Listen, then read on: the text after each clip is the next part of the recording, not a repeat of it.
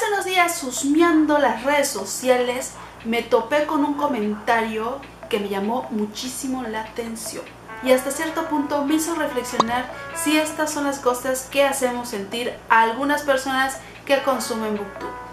Esta persona, que bueno, ya le dije chica, la verdad es que no sé si es chico o chica, nos cuenta de que ella cuando ve a los booktubers que tienen sus estanterías enormes llenas de libros, se sentía un poquito mal porque su colección de libros era muy pequeña, hasta el punto de que esta chica se empezó a sentir menos lectora, que empezó a sentir que ella tenía menos pasión por los libros que todas aquellas personas. Se sentía mal porque no podía adquirir esa enorme cantidad de libros. Y decía, ¿por qué me está pasando esto si yo me sentía antes muy orgullosa de mi pequeña colección de libros? Yo creo que soy una persona muy ingenua porque no logré percibir de que las personas se pudieran lograr sentir mal por una situación así, por mostrar nuestros libros. Tengo dos situaciones que debatir. La primera es de que una persona que es amante de los libros, que ama leer, que se considera lectora, no necesita tener mil libros en sus estanterías. No es más lectora aquella persona que lee 100 libros al año o aquella persona que se lee 1, 2, 3, 4 libros al año. Lector es aquella persona que solamente lee por la pasión, por el simple placer de leer.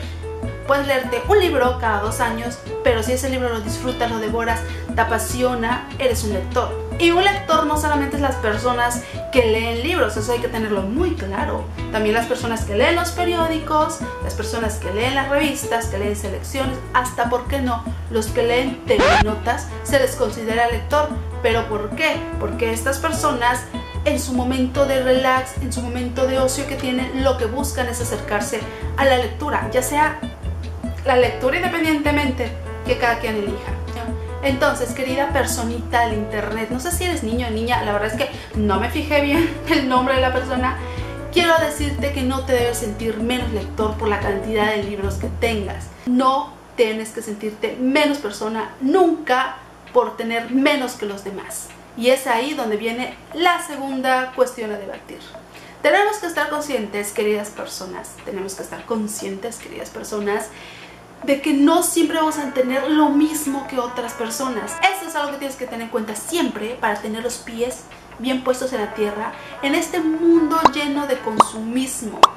Por todas partes la gente consume, por todas partes, por todas partes, ¿eh? no solamente libros. Entonces tienes que tener muy claro que no siempre puedes tener lo mismo que otras personas, lo cual no está mal porque la vida te da oportunidades. Hay algo que tienen que entender, que las bibliotecas personales se forman poquito a poquito, suave despacito, despacito, poquito a poquito. No crean que se llena la cosa de libros, la cosa. Además tienes que tener en cuenta que muchas personas que tienen muchísimos libros atrás, son muchos libros son de las editoriales. Ni siquiera ellos los pagan, así que no te preocupes.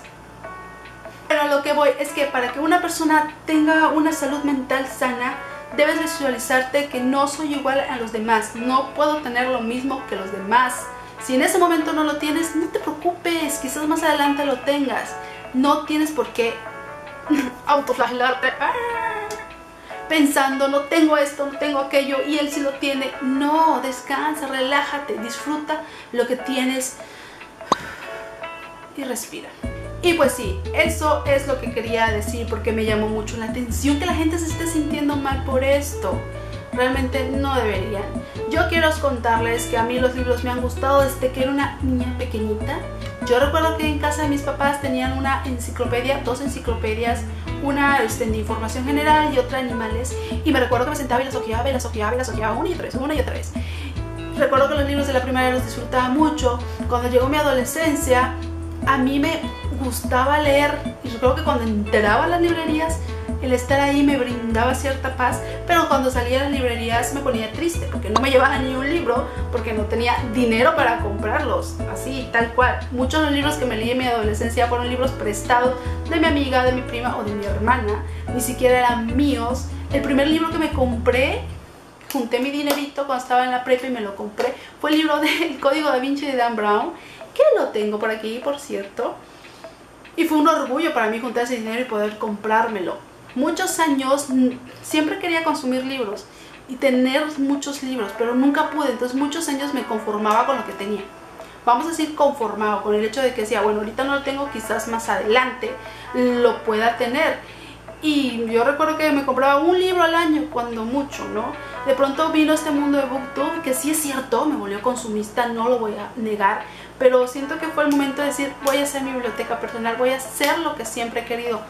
Tengo el tiempo, tengo la posibilidad de hacerlo y lo empecé a hacer. Por otra parte también quiero decir que el consumismo de libros, pues que cada quien haga lo que quiera con su dinero y que cada quien lo invierta como quiera con su dinero, con su espacio. Les voy que no quiero que se ofenda a nadie, pero se los voy a decir. Consumistas somos un gran porcentaje de la población. Desde que te pintes tu cara bonita, con un lindo labial, con unos ojitos bonitos, con tu corte de pelo, con tu collar bonito, con tu ropita, tus zapatitos, chush, bonito, lindo, eres consumista. Porque consumismo significa adquirir cosas que no son necesarias mm, para la supervivencia. Entonces, no creo que mis aretes sean necesarios para que sobreviva, ni pintarme la boca, ni pintarme pelo, ni tener mi ropita, ni mi collarcito. Así que yo les voy a creer todo esto del consumismo de libros cuando sea una persona que no se compre ni un chicle. Porque sí, señores, está comprando un chicle es el consumista. Entonces, luego entonces, no critiquen si ustedes también son consumistas de otras cosas. Mientras sigas teniendo gorrita, aretes bonitos, pantalones bonitos, seas niño, niña, lo que seas, no te creeré porque eso es como que morderse la lengua. Entonces, vamos a evitar sangraderas en la boca, por favor, porque luego necesitamos mucho algodón para, para secarnos, caray. Y se me está gastando la pila y me tengo que despedir. Pero bueno, eso es mi